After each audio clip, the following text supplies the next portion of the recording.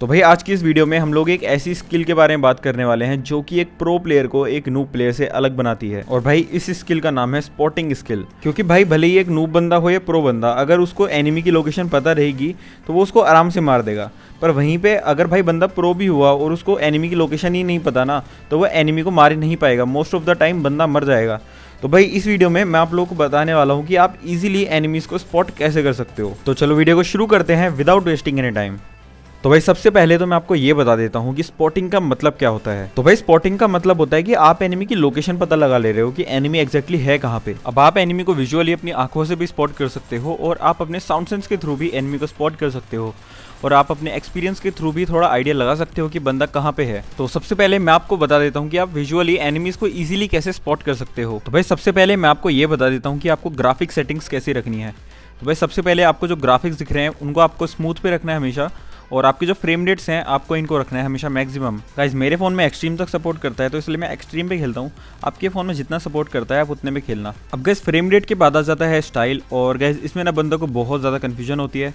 अब आपको किस स्टाइल पे खेलना है, ये डिपेंड करता है आपके फ़ोन के डिस्प्ले पे, क्योंकि हर फ़ोन का डिस्प्ले अलग होता है। और जहाँ तक कि मैंने पर्सनली एक्सपीरियंस किया है कलरफुल पे सबसे बेस्ट चलता है ज़्यादातर फ़ोन में। तो आप लोग कलरफुल पे करके खेल सकते हो। बाकी अगर आपके फ़ोन में कलरफुल पे अच्छा नहीं चल रहा है तो आप लोग क्लासिक कर लेना। पर रियलिस्टिक सॉफ्ट और मूवी तो बिल्कुल भी मत करना, ये सबसे बेकार है। अब गैस इसके बाद आ जाता है एंटी एनालाइजिंग और गैस अगर आपके पास लो एंड डिवाइस है, आपका डिवाइस लैग होता है तो आपको इसको हमेशा क्लोज पे करना है। और अगर आपके पास अच्छा खासा डिवाइस है और लैग नहीं होता, तब आप इसको टू या फोर पे कर सकते हो। अब गैस इसके बाद आ जाती है ब्राइटनेस और भाई, ये बहुत ज़्यादा इंपॉर्टेंट है।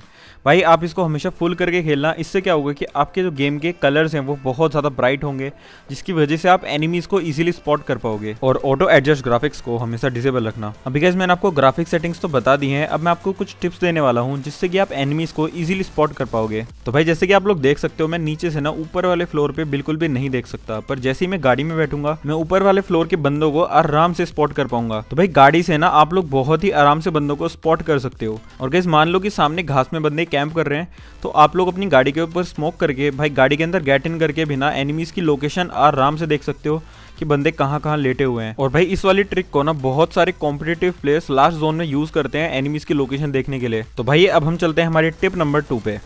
तो भाई गेम में जितने भी रिसोर्स पैक्स वगैरह होते हैं ना, तुम्हें हमेशा डाउनलोड करके रखने चाहिए। अभी गाइस तुम लोगों को लग रहा होगा कि भाई, हमारे रिसोर्स पैक से हमारी स्पॉटिंग का क्या लेना देना है। तो भाई, देखो, अगर हम लोग रिसोर्स पैक वगैरह डाउनलोड नहीं करते हैं ना तो हमें एनिमीज की ड्रेसेस नहीं दिखती है। और भाई एनिमीज की जो ड्रेस होती है ना, वो हमें बहुत ज़्यादा हेल्प करती है एनिमीज को स्पॉट करने में, अगर एनिमी घास में लेटा हुआ है। तो चलो, अब मैं तुम्हें ये चीज़ एग्ज़ाम्पल के साथ समझा देता हूँ। तो भाई अभी तुम लोग देख सकते हो, मेरे सामने बंदा है और उसने ड्रेस नहीं पहनी हुई है। और जब वो घास में लेट जा रहा है ना तो भाई मुझे बिल्कुल भी स्पॉट नहीं हो रहा है वो। और वही बंदा जब कपड़े पहन के बाद घास में लेट रहा है तो मुझे ईजिली स्पॉट हो जा रहा है। अब भाई मैं मानता हूँ कि बहुत सारे बंदों के पास ना ही इतना इंटरनेट होता है और ना ही इतनी स्पेस होती है कि वो रिसोर्स पैक्स डाउनलोड कर लें। पर भाई एटलीस्ट तुम लोग थोड़े बहुत रिसोर्स पैक्स तो डाउनलोड कर ही सकते हो। और भाई जिनके पास बहुत ज़्यादा इंटरनेट है और बहुत ज़्यादा स्पेस है, मैं तुम लोगों को यही रिकमेंड करूँगा कि तुम लोग सारे रिसोर्स पैक्स डाउनलोड रखा करो। इससे आप लोगों को ना स्पॉटिंग में बहुत ज़्यादा हेल्प होने वाली है। तो भाई अपना थर्ड पॉइंट आ जाता है पिक्सल स्पॉटिंग तो भाई बहुत सारे बंदे क्या करते हैं ना, जब तक उनको पूरा बंदा स्पॉट नहीं होता, वो लोग फायरिंग नहीं करते हैं बंदे पे। पर भाई देखो, अगर तुम्हें बंदे का एक छोटा सा पार्ट भी दिख रहा है ना लाइक अगर बंदे का हाथ दिख गया या फिर एक मिली सेकंड के लिए भी अगर तुम्हें बंदे का पैर दिख गया या फिर उसका कोई बॉडी पार्ट दिखा तो भाई आप ना उस पर फायरिंग कर दिया करो। अब भाई मैं तुम्हें एक एग्ज़ाम्पल दिखा देता हूँ। भाई, यहाँ पे मैं दो बंदे नॉक करता हूँ और उसके बाद मैं बंदों पे रश करने जाता हूँ। और भाई रश करते वक्त मुझे बंदा हल्का सा स्पॉट होता है, मैं तुरंत स्कोप खोलता हूँ और भाई, बंदे को नॉक कर देता हूँ। और उसके बाद लास्ट वाले बंदे को भी मैं आराम से मार देता हूँ। तो भाई मतलब अगर तुम्हें बंदा हल्का सा भी स्पॉट हो रहा है ना, भाई, सीधा फायर करो बंदे पे। अगर बंदा नॉक नहीं होगा तो एटलीस्ट बंदा डैमेज हो जाएगा। तो भाई, मैंने आपको ये तो बता दिया है कि आप एनिमी को विजुअली कैसे स्पॉट कर सकते हो। अब मैं आपको ये बता देता हूँ कि भाई साउंड सेंस कितना ज़्यादा इंपॉर्टेंट होता है एनिमी को स्पॉट करने के लिए।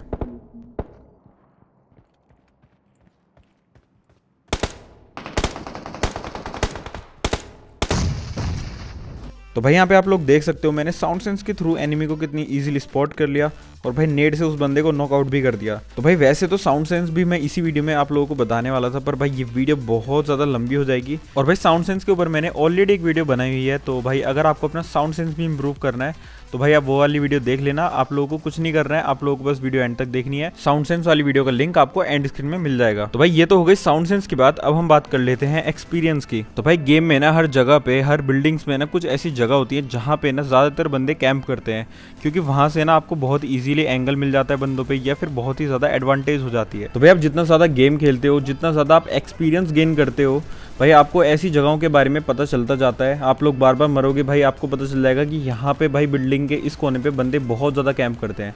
तो भाई नेक्स्ट टाइम जब आप सेम बिल्डिंग में रश करोगे तो आपको याद रहेगा कि हाँ भाई इस कोने में बंदा कैंप करता है तो पहले वहीं पे जाके देखूँगा। तो भाई तुम्हें एक्सपीरियंस खुद गेम खेल के तो मिलेगा ही। साथ में तुम लोग बाकी लोगों के गेम प्लेस वगैरह भी देख सकते हो। उससे भी तुम्हें बहुत ज़्यादा एक्सपीरियंस मिलेगा। और भाई अगर आप लोगों को इस वीडियो से कुछ सीखने को मिला होना तो भाई चैनल को भी सब्सक्राइब ज़रूर से कर देना। और हाँ भाई, मुझे आज गेम में मेरा एक फ़ैन मिला था, और वो बोल रहा था कि भाई वो मेरी सारी वीडियो देखता है, पर भाई उसने मेरा चैनल सब्सक्राइब नहीं किया हुआ है। तो भाई मुझे कमेंट सेक्शन में ज़रूर बताना कि तुमने चैनल सब्सक्राइब किया है या फिर तुम भी उस बंदे की तरह बिना सब्सक्राइब करे वीडियोस देख रहे हो। तो भाई आज की वीडियो के लिए बस इतना ही था। मिलते हैं नेक्स्ट वीडियो में। तब तक के लिए बाय बाय